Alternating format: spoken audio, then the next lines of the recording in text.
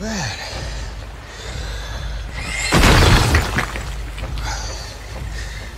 Not bad at all.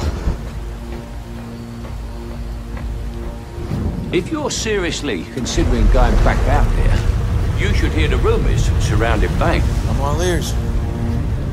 There is a prison in a more ancient part of the world.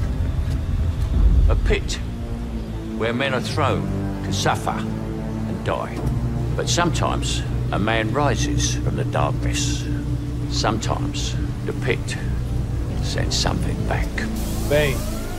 Bane. Born and raised in hell on earth. Born in prison?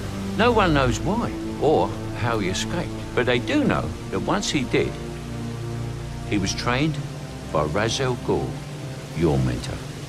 Bane was a member of the League of Shadows. And then he was excommunicated. And any man who is too extreme for al Ghul is not to be trifled with. I didn't realize I was known for trifling with criminals. That was then. And you can just strap up your leg and put your mask back on, but that doesn't make you what you were. If this man is everything that you say he is, then the city needs me. The city needs Bruce Wayne.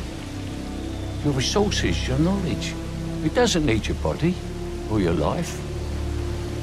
That time has passed. You're afraid that if I go back out there, I'll fail.